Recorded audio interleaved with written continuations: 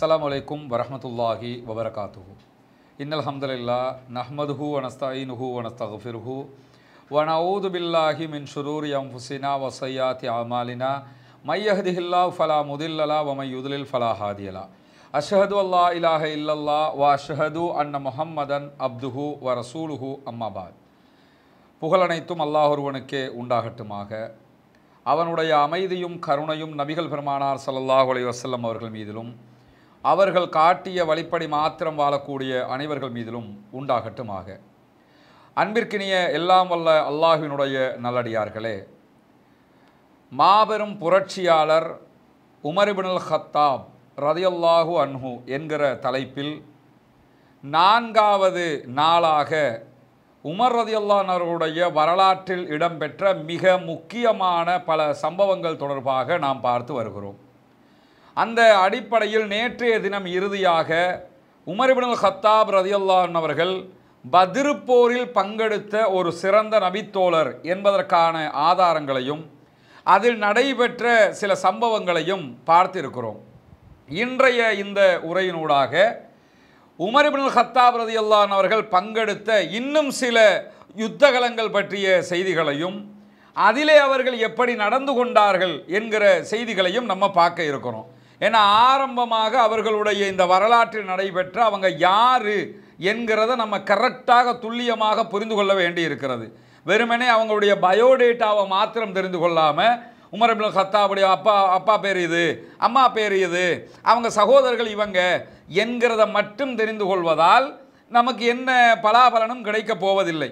அப்போ நம்ம என்ன தெரிஞ்சுக்கிறோம்னு கேட்டால் இந்த மாதிரியான அவர்களுடைய பல பின்னணிகளையும் தெரிந்து கொண்டதற்கு பிறகு அவங்க எப்படி ஆட்சியாளராக என்னென்ன சீர்திருத்தங்களை எல்லாம் செய்தார்கள் எப்படியெல்லாம் மக்களுக்கு நன்மை பயக்கிற வேலைகளை எல்லாம் செய்தார்கள் என்பதை நம்ம தொடர்ச்சியாக பார்க்க இருக்கிறோம். அந்த அடிப்படையில் உமரிபின் ஹத்தாப் ரதியல்லான் அவர்கள் ரசூலுல்லாஹி ஸல்லல்லாஹு வசல்லம் அவர்கள் பங்கெடுத்த அனைத்து யுத்தகலங்களிலும் பங்கெடுத்தவர்கள் என்பதை நம்ம நேற்றைய தினம் பார்த்துருக்குறோம்.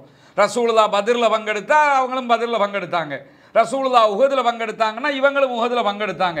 இப்படி ரசூலுல்லா என்ன யுத்தத்தில் எல்லாம் பங்கெடுத்தார்களோ எல்லா யுத்தகலங்கள்லையும் உமரிபினல் ஹத்தாப் ரதியுல்லானவர்களும் பங்கெடுத்திருக்கிறார்கள்.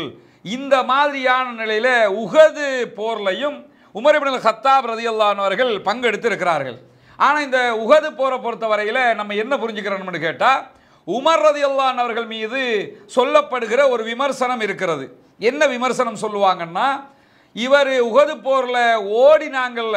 உகது போர் வந்து ஆரம்பத்தில் படு வெற்றியாக அமைந்த ஒரு யுத்தமாக மாறிவிட்டது. ஆனால் ரசூலுல்லாஹி ஸல்லல்லாஹு அலைஹி அவங்க ஒரு மலைக்குன்றில் ஒரு படையை ஏற்றி வச்சு இதில் இருந்து நீங்கள் இறங்கிடக்கூடாதுன்னு சொன்னாங்க. யுத்தம் முடிஞ்சிருச்சுன்னு நினச்சி அவங்க கீழே வந்துட்டாங்க. கீழே வந்ததோட ஹாலிதிபின் இப்னு ரதி அல்லானுடைய படை அவங்க வந்து அப்போ காவிர்களுடைய படையில் இருந்தாங்க எதிரிகளுடைய படையில் இருந்தாங்க. அவங்க ச- பிறகு சுற்றி வளைத்து என்ன பண்ணுவாங்கன்னு கேட்டால் ரவுண்ட் அப் பண்ணி முஸ்லீம்களை தாக்க ஆரம்பிக்கிறாங்க. அதில் வந்து பலத்த சேதம் இஸ்லாமியர்களுக்கு ஏற்பட்டது என்கிற வரலாறுகளை எல்லாம் நம்ம பார்க்க முடிகிறது. இப்படியான நேரத்தில் இந்த உகது போர்க்களத்தில் எதிரிகள் தரப்பால தாறு மாறான அடி விழும்போது ரசூலுல்லாய் சல்லா அலிஸ்லாம் அவங்க ஒரு யுத்தத்தின் தளபதியாகவும் அல்லாஹுடைய தூதராகவும் இட்ட ஒரு கட்டளை அங்கே புறக்கணிக்கப்படுகிறது. அதனால் முஸ்லீம்களுக்கு கடுமையான தாக்குதல்கள் நடத்தப்பட்டுச்சா இல்லையா? அந்த நடத்தப்படுற நேரத்தில் பல பேரும் தெரிச்சு ஓடினாங்க. இஸ்லாமியர்களை சஹாபாக்களே தப்பிச்சு ஓடிய பல பேரை அந்த வரலாற்றில் நம்ம பார்க்க முடிகிறது. அந்த யுத்தத்தில் பல பேரும் தெரிச்சு தப்பி ஓடுகிற நேரத்தில் உமரபிடல் ஹத்தாப் ரதி அல்லானவங்களும் தப்பிச்சு ஓடினாரு.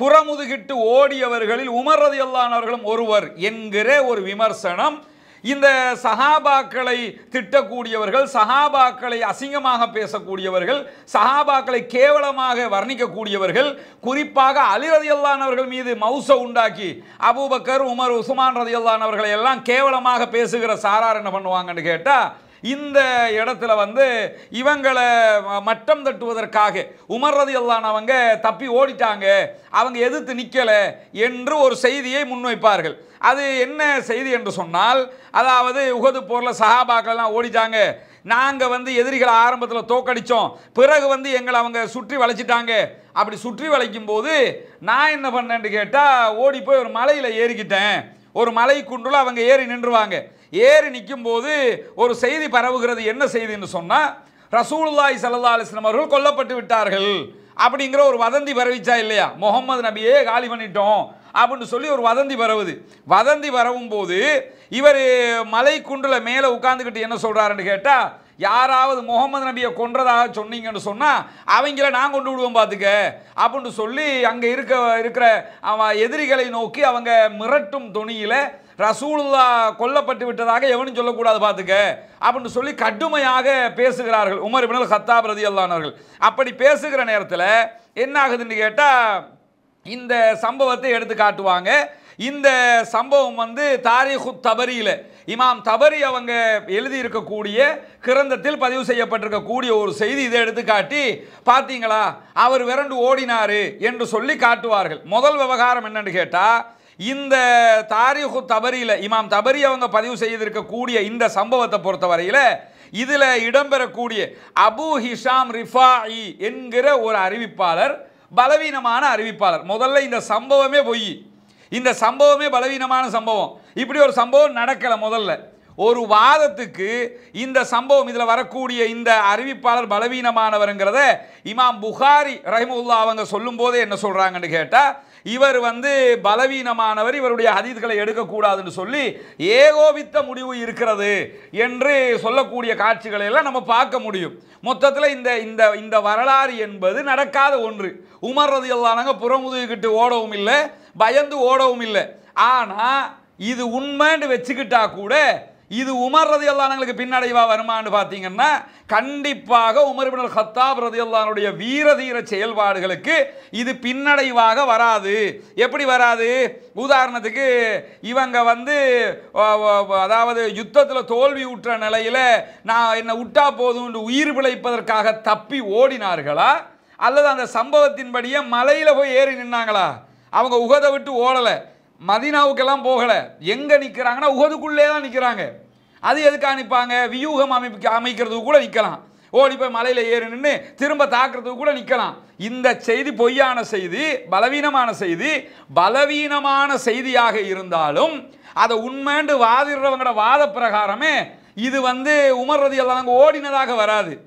யுத்த காலத்துக்குள்ளே இன்னொரு கரெக்டான அதுக்கு லாயக்கான ஒரு இடத்துல போய் நின்று திரும்ப அட்டாக் பண்ணுறதுக்காக போய் நின்றுக்கிறாருன்னு அர்த்தம். ஏன்னா திருமறை குரான் இந்த புறமுதுகிட்டு ஓடுவதை பற்றி பேசுகிற நேரத்தில் அல்லாஹு தாலா எட்டாவது அத்தியாயத்தில் பதினாறாவது வசனத்தில் மிக தெளிவான ஒரு செய்தியை சொல்கிறான் என்ன செய்தியை சொல்கிறான்னு கேட்டால் போரிடுவதற்காக திருப்பி போரிடுறதுக்காக பதுங்கி தாக்குறதுக்காகவோ அல்லது வேறொரு அணியோட சேர்ந்து கொள்றதுக்காகவோ தவிர புறமுதுகிட்டு யாராவது ஓடினாங்கன்னு சொன்னால் அவங்க வந்து அல்லாஹுடைய கோபத்தோடு தான் திரும்புகிறார்கள் அப்படின்னு சொல்லி அல்லாஹு தாலா சொல்லக்கூடிய செய்தி எட்டாவது அத்தியாயம் பதினாறாவது வசனத்தில் இருக்குது.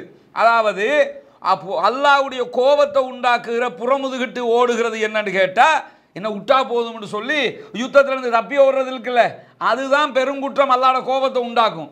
ஆனால் எப்படி ஓடலாம்னு அல்லாஹ் சொல்கிறான்னு கேட்டால் அதாவது பதுங்கி நின்று ரிட்டன் அடிக்கிறதுக்காக ஒருத்தர் ஓடுறாருன்னு சொன்னால் அது புறமுதுகிட்டு ஓடுவதல்ல தப்பி ஓடுவதல்ல. அல்லது இந்த இந்த பட்டாலியனில் இருக்கலை நான் இன்னொரு பட்டாலியனில் போய் சேர்ந்துக்கிறேன் அப்படின்ட்டு ஒருத்தர் ஓடுவாரா இருந்தால் அதுவும் புறமுதுகிட்டு ஓடுவது அல்ல என்று சொல்லி அல்லாஹு தாலா திருமறை குரானிலே இந்த செய்தியை சொல்லி காட்டுகிறான். இதில் இருந்து என்ன விளங்குதுன்னு கேட்டால் உமர் ரதி அவர்கள் இந்த உகது யுத்தத்தில் ஓடவில்லை. அவங்க தப்பி போகலைங்கிற செய்தி மிக துல்லியமாக தெளிவாக நமக்கு புரிந்து கொள்ள முடிகிறது. ஓடியதாக சொல்லப்படக்கூடிய செய்தி பலவீனமான செய்தி என்பதை புரிந்து கொள்ளுங்கள். அதே நேரத்தில் உமர் ரதி நாங்கள் பங்கெடுத்த இன்னும் ஒரு முக்கியமான யுத்தம் என்னன்னு கேட்டால் ஹுனைன் போர். இந்த ஹுனைன் போரை பொறுத்தவரையில் மக்கா வெற்றிக்கு பிறகு நடைபெறுகிற யுத்தமாக இருக்கிறது. மக்கா வெற்றிக்கு பிறகு நடைபெறுகிற யுத்தம் என்கிற காரணத்தினாலேயும் இந்த யுத்தத்தில் முஸ்லீம்களுடைய படையை எடுத்துக்கிட்டோம்னா பெரும் படை கொண்ட ஒரு படையாக அதிகமான வீரர்களை கொண்ட ஒரு படையாகத்தான் முஸ்லீம்களுடைய படை அமைந்திருந்தது. வீரர்களுக்கெல்லாம் எந்த குறையும் இல்லை. தாறுமாறாக வீரர்கள் பங்கெடுத்திருந்தார்கள். ஆனாலும் இதில் எதிரிகளை பொறுத்தவரையில் எதிரிகள் தரப்பில் வந்து அம்பைகிற விற்பனர்கள் இருப்பாங்கல்ல. அம்பைகிற வீரர்கள் இருப்பாங்கல்ல. அவங்க வந்து துல்லியமான பல பேரை இறக்கி இருந்தாங்க இந்த தரப்பில் ஆள் கூடுதலாக இருக்குது. அவங்கள தரப்புல அம்பைகிறவங்க அதிகமாக இருக்கிறாங்க.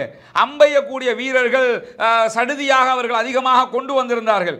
கொண்டு வந்திருந்ததுனால ஆரம்பத்தில் ஒரு தோல்வி ஏற்படுகிறது. இப்படி தோல்வி ஏற்படும் போது என்ன ஆகுதுன்னு கேட்டால் ரசூலுல்லாய் ஸல்லல்லாஹு அலைஹி அவங்களே அத்தனை பேரையும் கூப்பிடுறாங்க நான் அல்லாவுடைய தூதரை கூப்பிடுறேன். எல்லாரும் வாங்கப்பான்னு கூப்பிடுறாங்க. பல பேர் ஓடுறாங்க தெரிச்சு ஓடுறாங்க.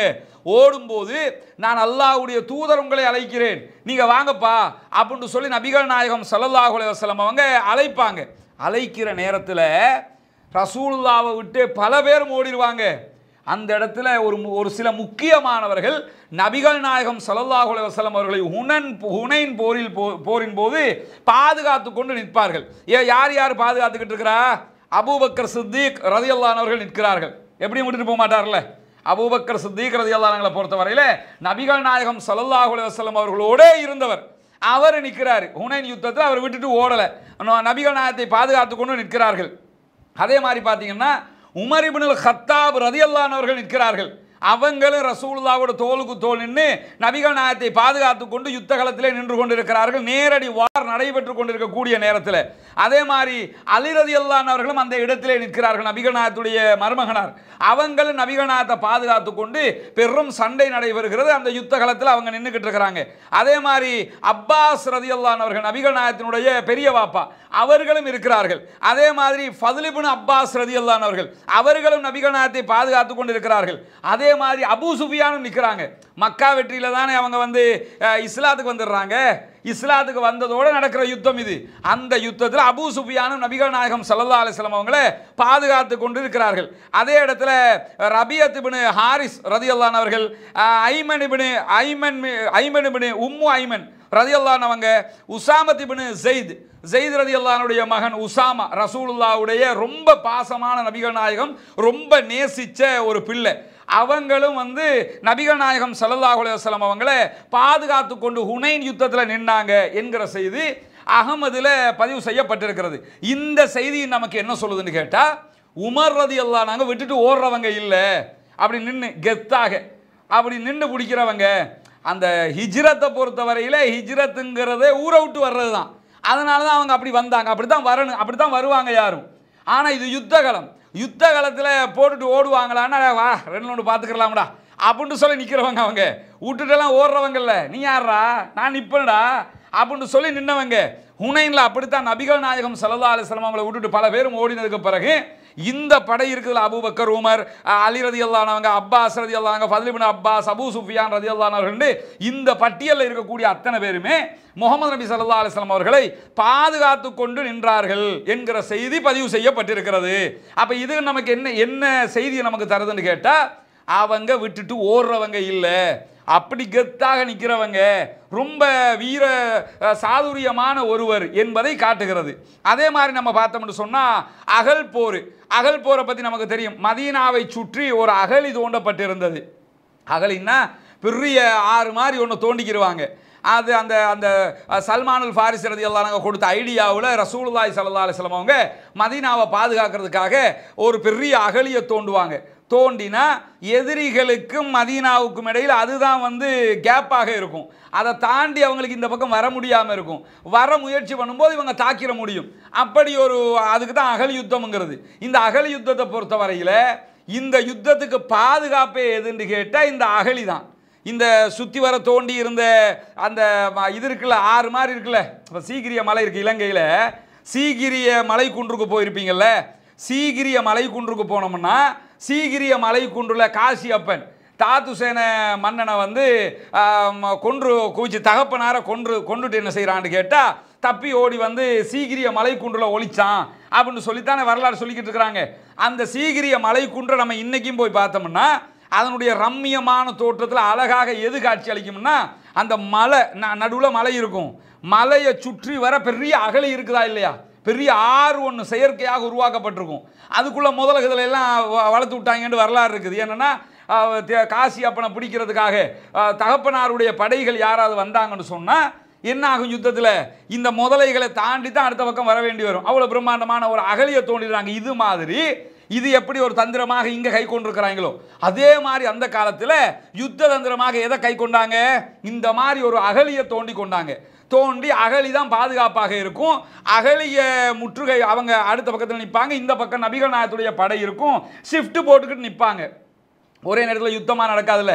இங்கே இன்னைக்கு நீங்கள்லாம் இன்றைக்கி நிற்கணும் நாளைக்கு வேறு படைகள் வந்துடுவாங்க மற்றவங்க ஊருக்குள்ளே போய் அவங்க ஜோலியை பார்த்துக்கிடுவாங்க ஊருக்குள்ளே தான் ஊருக்குள்ளே மற்றவங்க வளமையான ஊர் இயங்கிக்கிட்டு தான் இருக்கும்.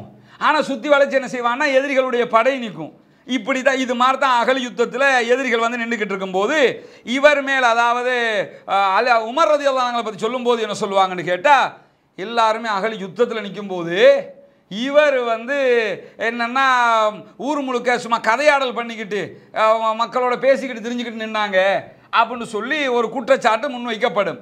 அப்படி அந்த குற்றச்சாட்டு உண்மையான்னு பார்த்தோம்னா அது வந்து உண்மை கிடையாது. முதல் விஷயம். ரெண்டாவது ஊருக்குள்ளே அப்படித்தானே இருப்பாங்க? அப்படி இருந்தால் குற்றமும் கிடையாது. ஏன்னா யுத்தம்ங்கிற மற்ற யுத்தங்கள் மாதிரி இல்லை அகல் யுத்தம்ங்கிறது. அகல் யுத்தம் அவன் அடுத்த பக்கம் வந்து நின்றுக்கிறான் அவன் தாக்க விடாமல் இந்த பக்கம் பாதுகாப்புக்கு நிற்பாங்க மற்றவங்க வேலை ஜோலிகளை பார்த்துக்கிட்டு இருப்பாங்க.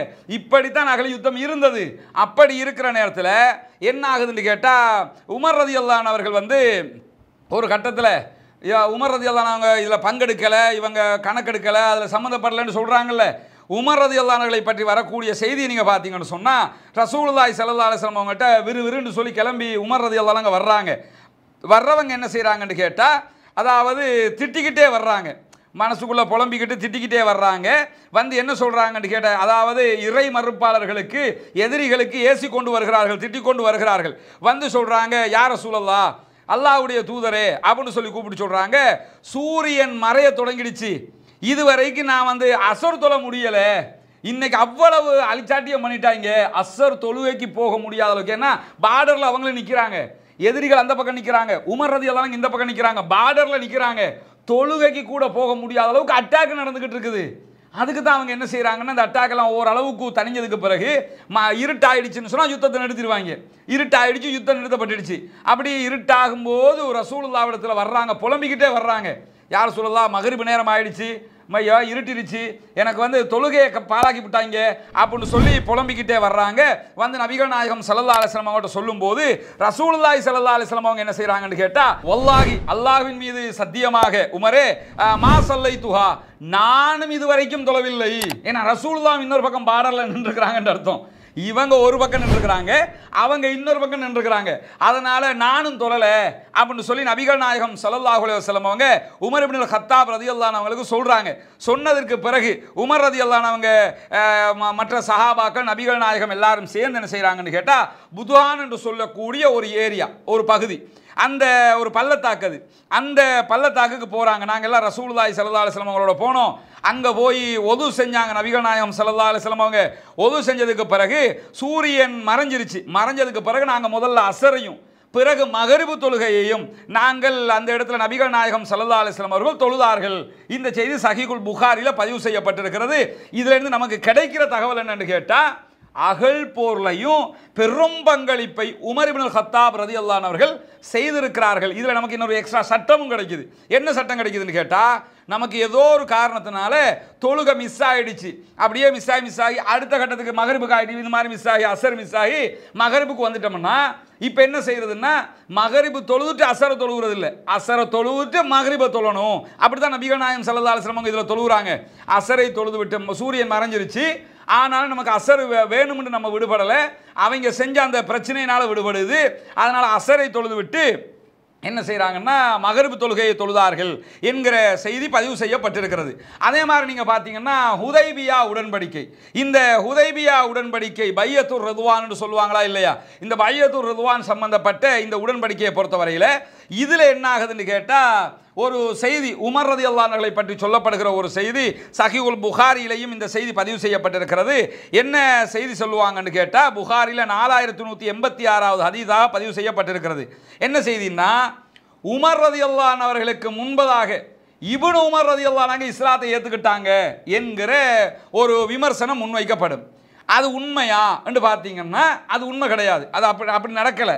ஆனால் அது என்ன நடக்குது என்கிறது பதிவு செய்யப்பட்டிருக்கு. என்ன நடக்குதுன்னு கேட்டால் அதாவது உதய்பியா உடன்படிக்கை நடந்த அந்த டேட்டில் உமர் ரதி அவங்க என்ன பண்ணுறாங்கன்னா தன்னுடைய மகன் Abdullah ibn Umar ibn Umar ரதி அவங்க இருக்கிறாங்கல்ல அவங்கள அழைச்சி என்ன ஒரு ஒரு அன்சாரி தோழரை பேரை சொல்லி அவரிடத்தில் என்னுடைய யுத்தத்துக்கு நான் பயன்படுத்துகிற குதிரை இருக்குது அதை போய் எடுத்துக்கிட்டு வாங்க அப்படின்னு சொல்லி அமுச்சு விட்றாங்க.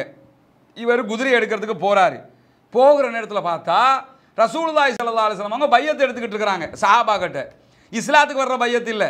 இந்த திருட மாட்டேன் பொய் சொல்ல மாட்டேன் விபச்சாரம் பண்ண மாட்டேன் அந்த பையத்தை எடுத்துக்கிட்டு இருக்கிறாங்க.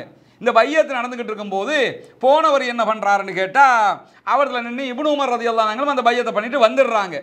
வந்ததுக்கு பிறகு குதிரை எடுத்துக்கிட்டு வந்து வாப்பட்டை வாப்பட்ட கொண்டு வந்து கொடுக்குறாரு தகப்பனார்கிட்ட. தகப்பனார் என்ன பண்ணுறாங்கன்னா யுத்தத்துக்கு ரெடியாகி அந்த யுத்தத்துக்குரிய கவசங்களை எல்லாம் அணிஞ்சிக்கிட்டு இருக்கும்போது என்ன சொல்கிறாங்கன்னா நான் இப்படி குதிரை எடுக்க போனேன்னா ரசூல்லாய் செல்லதாசனம் பையத்து பண்ணிக்கிட்டு இருக்கிறாங்களா? நானும் பையத்து பண்ணிட்டு வந்துட்டேன் அப்படின்னு சொல்லி சொல்கிறாங்க அப்படியா? ஏன்பா நம்ம நான் இந்த நானும் போய் பண்ணிட்டு வந்துடுறேன்னு சொல்லி திரும்ப மகனை மலைச்சிக்கிட்டு போய் உமர் ரதி நாங்களும் பையத்து பண்ணிட்டு வந்துட்டாங்க. இந்த சம்பவத்தை சஹிகுல் புகாரியில் பதிவு செய்யப்பட்டிருக்கக்கூடிய சம்பவம். இந்த சம்பவத்தை எப்படி காட்டுவாங்கன்னு கேட்டால் அதாவது உமர் ரதி முன்னாடியே இப்னு உமர் இஸ்லாத்துக்கு வந்துட்டாங்க அப்படின்னு சொல்லுவாங்க. அப்படியெல்லாம் நடக்கல. இது இஸ்லாத்துக்கு வருகிற ஒரு உடன்படிக்கை கிடையாது. இந்த உடன்படிக்கை வந்து நான் ஏற்கனவே சொன்ன மாதிரி திருட மாட்டேன் போய் சொல்ல மாட்டேன் அந்த மாதிரி எடுக்கிற ஒரு உடன்படிக்கை. இஸ்லாத்துக்கு தான் ஆரம்பத்தில் வந்ததுனால தான் நம்ம மக்காவிலேருந்து மதீனாவுக்கு ஹிஜ்ரத் பண்ணியே வந்தாங்க. அதுக்கு பிறகுதான் இந்த சம்பவமே நடக்குது. இப்படி ஒரு சம்பவம் சஹிகுல் புகாரியில் நாலாயிரத்தி நூற்றி எண்பத்தி ஆறாவது ஹதீதாக பதிவு செய்யப்பட்டிருக்கக்கூடிய நேரத்தில் ஹுதைபியா உடன்படிக்கை நடந்ததில்ல. இந்த ஹுதைபியா உடன்படிக்கை சம்பந்தமாக ஒரு பெரிய ஆட்சேபனையை தெரிவித்த ஒருத்தர் இருப்பாங்கன்னு சொன்னால் அது யாருன்னு கேட்டால் உமர் இபின் ஹத்தாப் ரதியல்லானவங்க தான் என்ன ஆட்சேபனையை தெரிவிக்கிறாங்கன்னு கேட்டால் ஹுதைபியா உடன்படிக்கை நடந்து முடிஞ்சிருச்சு. நடந்து முடிஞ்சால் உமர் ரதி அல்லானவங்க ரசூல்லாய் ஸல்லல்லாஹு அலைஹி கிட்ட வர்றாங்க. யார் ரசூலல்லா அல்லாஹ்வுடைய தூதரே அப்படின்னு சொல்லிட்டு வந்து என்ன கேட்குறாங்கன்னு கேட்டால் நாம சத்தியத்திலையும் அவங்க அசத்தியத்திலையும் இருக்கிறாங்களா இல்லையா அப்படின்னு கேட்குறாங்க உடனே நபிகள் நாயகம் ஸல்லல்லாஹு அலுவலம் அவங்க ஆமாம் நம்ம சத்தியத்திலையும் அவங்க அசத்தியத்திலையும் தான் இருக்கிறாங்க எதிரிகள் அசத்தியத்தில் இருக்கிறாங்க நம்ம சத்தியத்தில் தான்ப்பா இருக்கிறோம் அப்படின்னு சொல்லி நபிகள் நாயகம் ஸல்லல்லாஹு அலுவலம் அவங்க பதில் சொல்கிறாங்க பிறகு உமர் ரதியல்லாஹு நாங்கள் என்ன கேட்குறாங்கன்னு கேட்டால் போரில் நம்ம சண்டை பிடிச்சி போரில் நம்ம கொல்லப்பட்டா நம்முடைய வீரர்களுக்கு சொர்க்கமும் அவங்களுக்கு நரகமும் கிடைக்குமா இல்லையா? அப்படின்னு சொல்லி கேட்குறாங்க ரசூலுதாய் ஸல்லல்லாஹு அலைஹி என்ன செய்கிறாங்கன்னா ஆமாம் போரில் நம்ம மக்கள் மௌத்தா போயிட்டாங்கன்னா நம்ம மக்களுக்கு சொர்க்கமும் அவங்களுக்கு நரகமும் கிடைக்கும் அப்படின்னு சொல்லி சொன்ன ரசூலுல்லாஹி ஸல்லல்லாஹு அலைஹி பதில் சொல்கிறாங்க தெரிஞ்ச விஷயம்தான். ஆனால் இது ஒரு வேறு விவகாரத்துக்காக கேட்குறாங்க நடந்ததை சொல்லி திருப்பி இப்படி சொன்னீங்களா இல்லையா? அப்படின்னு கேட்போம்ல இப்படி இருக்குதா இல்லையா? இருக்குதுன்னு அவங்களுக்கு தெரியும் இவங்களுக்கு தெரியாமலாம் இவர் கேட்கல. தெரிஞ்சுக்கிட்டே ஒரு பதிலை பதிலை வேறொரு பதிலை வேண்டி இந்த கேள்வியை கேட்குறாரு. கேட்டதுக்கு பிறகு உமர் ரதி அல்லாங்க நபிகள் நாயகம் சல்லா அலிஸ்லாம் அவங்கள்ட்ட என்ன சொல்கிறாங்கன்னு கேட்டால் நிலைமை இப்படித்தானே. நம்ம ஆக்கள் மௌத்தா போனாங்கன்னா அவங்களுக்கு சொர்க்கம். அவங்கள ஆக்கள் மௌத்தா போனால் நரகம். அதே மாதிரி நம்ம சத்தியத்தில் இருக்கிறோம் அவங்க அசத்தியத்தில் இருக்கிறோம். இது ஓகே தானே? ஆமாம் ஓகே. ரசூல் தான் ஆமாம் அப்படி தான்ப்பா நிலைமைன்னு சொல்லிட்டாங்க. சொன்னது பிறகு கேட்குறாங்க அப்படி இருக்கும்னா நம்ம ஏன் பணிஞ்சு போகணும்? நம்ம எதுக்கு உ- உடன்படிக்கைக்கு போகணும்? அதெல்லாம் பண்ண முடியாது. நாங்கள் இன்னைக்கு தான் பண்ண போகிறோம் நீ யாரா அதை தட்டி கேட்கறதுக்கு? நீ யார் எங்களை நிறுத்துறதுக்கு? அப்படின்னு சொல்லி ரெண்டு லோனு நம்ம பார்க்கணும். அது எப்படி அவங்களுக்காக நம்ம இதை விட்டு கொடுத்து போக முடியும்? அப்படின்னு சொல்லி உடனே நபிகள் நாயகம் சல்லல்லா அலிஸ்லாம் அவங்கள்ட்ட அதாவது உமர் ரதி அல்லாங்க வாக்குவாதம் பண்ணுறாங்க ஆர்கியூமெண்ட் பண்ணுறாங்க உடனே நபிகள் நாயகம் சல்லா அலிஸ்லாம் ஒரு அற்புதமான ஒரு பதிலை சொல்கிறார்கள். என்ன பதிலை சொல்கிறார்கள் தெரியுமா? ரசூலுல்லாஹி சல்லா அலைஹி சொல்கிறாங்க எபினல் ஹத்தாப் ஹத்தாபுடைய மகனே உமரே என்று சொல்லி கூப்பிட்டு அல்லாஹ்வுடைய தூதர் சல்லா அலைஹி அவங்க சொல்கிறாங்க நான் அல்லாஹுடைய தூதர். என்னை வந்து அல்லாஹு தாலா ஒருபோதும் வீணாக்க மாட்டான் என்னை நாசமாக்க மாட்டான். இது நான் முகம்மதாக எடுத்த முடிவில்லை. அல்லாஹுடைய தூதராக எடுத்த முடிவாக்கும் அப்படின்னு சொல்லி அல்லாஹ்வுடைய தூதர் ஸல்லல்லாஹு அலிஸ்லாம் அவர்கள் அற்புதமான ஒரு பதிலை சொல்லி உமர் ரதி அவர்களுக்கு பதிலளித்து விடுகிறார்கள். ஆனால் அவங்க என்ன செய்கிறாங்கன்னு கேட்டால் அடுத்ததாக அபூபக்கர் சித்திக் ரதியல்லானங்கிட்ட போகிறாங்க போய் இதே கேள்வியை கேட்குறாங்க நம்ம சத்தியத்துலேயும் அவங்க அசத்தியத்துலையும் இருக்கிறாங்களா தானே ஆமாம் இருக்கிறாங்க. நம்ம ஆக்கள் மௌத்தா போனாங்கன்னா சொர்க்கம் அவங்கட ஆக்கள் மௌத்தா போனா நரகம் தானே? ஆமாம் அப்படித்தான். அப்படின்னு கேட்டதுக்கு பிறகு அபூபக்கர் சித்திக் ரதியல்லான் நாங்கள்கிட்ட கேட்குறாங்க அப்படின்னு சொல்லி சொன்னால் நம்ம வந்து இவங்கக்கிட்ட இவங்க கிட்ட இவ்வளோ பணிஞ்சு போகணுமா? நம்ம எதுக்கு உதவியா உடன்படிக்கைக்கு போகணும்? நம்ம ஏன் விட்டு கொடுக்கணும்? கெத்தா நின்ற வேண்டியதானே? அப்படின்னு சொல்லி இப்போ கேட்கும்போது அபூபக்கர் சித்திக்கிறது எல்லாம் என்ன சொல்கிறாங்கன்னா அவங்க அல்லாவுடைய தூதர் அல்லாவுடைய தூதருடைய செயல்பாடுகளை அல்லாஹு தாலா வீணாக்கிற மாட்டான் அப்படின்னு சொல்லி அபூபக்கர் சித்திக்கிறது எல்லாம் பதில் சொல்லிட்டாங்க. அபூபக்கர் ரதி அவங்களாவது தனக்கு சார்பாக இதுக்கு பதில் சொல்லுவாங்களான்னு தான் போய் கேட்டாங்க. ஆனால் அபூபக்கர் சித்திக்கிறது எல்லானவங்க ரசூலுல்லாஹி ஸல்லல்லாஹு அலைஹி அவங்க சொல்கிறத மறு பேச்சு பேச மாட்டாங்க. ஆமான்னு சொல்லுவோம் அதெல்லாம் சித்திக்கு. அதனால தானே வந்து அவங்களுக்கு அந்த அந்த அளவுக்கான முக்கியத்துவம் கொடுக்கப்படுகிறது. சொல்லி முடிய அதை கேட்டுக்கிட்டாங்க. கேட்டுட்டு என்ன செய்கிறாங்கன்னு கேட்டால் பிறகு நபிகள் நாயகம் ஸல்லல்லாஹு அலைஹி அவங்க உமர் ஹத்தாப் ரதி அவங்களுக்கு ஒரு செய்தியை சொல்கிறாங்க என்னன்னு கேட்டால் அல்லாஹ் தாலா உடனே திருமறை குரானுடைய வசனம். ஃபத்தஹ் அத்தி அல் ஃபத்தஹ் அத்தியாயத்தினுடைய நாற்பத்தி எட்டாவது அத்தியாயத்தினுடைய வசனங்கள் அல்லாஹு தாலா இறக்குறான். அதை நபிகள் நாயகம் சல்லா அலிஸ்லாம் அவங்க இந்த உமர் ஹத்தா ஹத்தாப் ரதியல்லாஹு ஓதி காட்டுறாங்க. அல்லாஹு தாலா வெற்றியை கொடுத்தான். இந்த இந்த ஒப்பந்தம் வந்து வெற்றி தான் என்கிற கருத்துப்பட இறங்கிய வசனம் அது. அந்த வசனத்தை ரசூல்லாய் சல்லா அலிஸ்லாம் அவங்க ஓதி காட்டுறாங்க. ஓதி காட்டினத்தோட உமர் ரதி அல்லானாங்க நபிகள் நாயகம் சல்லா அலிஸ்லாம் அவங்கள்ட்ட கேட்குறாங்க யார் ரசூலல்லா அல்லாஹுடைய தூதர் அவர்களே இதுதான் வெற்றியா? அப்படின்னு சொல்லி கேட்குறாங்க நீங்கள் இந்த சமாதானமாக முடிஞ்சது வெற்றின்னு சொல்கிறீங்களா அப்படின்னு சொல்லி கேட்குறாங்க உடனே நபிகள் நாயகம் ஸல்லல்லாஹு அலைஹி அவங்க ஆமாம் அதுதான் வெற்றி அப்படிங்கிறாங்க. சில இடங்கள் வரும். சண்டை தான் தீர்வு மாதிரி நமக்கு தெரியும். ஆனால் அதை விட சமாதானம் பெரும் தீர்வாக மாறிவிடும். அப்போ நம்ம சண்டையாக சமாதானமாண்டு வரும்போது ச இதுக்கு எப்படி சமா இவர் எப்படி விட்டு கொடுத்து போனார்? அப்படி நின்றுக்க வேண்டியதானே? அவங்க அப்படி பணிஞ்சு போக வேண்டிய தேவை இருக்குதா? நம்ம நம்ம என்ன குற்றமாக பண்ணிட்டோம்? ரெண்டுல ஒன்று பார்த்துருவோம். ஏ நான் அப்படி நான் விட மாட்டேன். அப்போ அந்த மாதிரி நிற்க முடியும். ஆனால் அப்படி நிற்பதை விட சில நேரங்களில் சமாதானமாக ஏன்னா சண்டையில் போய் பெரும் சீரழிவு வருவதை விட சமாதானமாக எந்த ஒரு பிரச்சனையும் இல்லாமல் முடித்துக்கொள்ள முடியுமா? அதை முடித்துக்கொள்வது தான் வெற்றி. அதான் உ- உடன்படிக்கையில் அதுதான் நடக்குது. ரசூல்தாய் ஸல்லல்லாஹு அலைஹி அதைத்தான் பண்ணுறாங்க பண்ணினதோடு அது வெற்றி என்பது பின் நாட்களில் நம்ம அத்தனை பேரும் உணர்கிற விதமாக அமைந்து விட்டதா இல்லையா? அமைந்து விட்டது. இந்த சம்பவம் வந்து சஹிகுல் புகாரில் பதிவு செய்யப்பட்டிருக்கிறது. இப்படி ஒரு சம்பவமும் உமர் இப்னுல் ரதியல்லானுடைய வரலாற்றிலே நடைபெற்ற ஒரு முக்கியமான சம்பவமாக இருக்கிறது.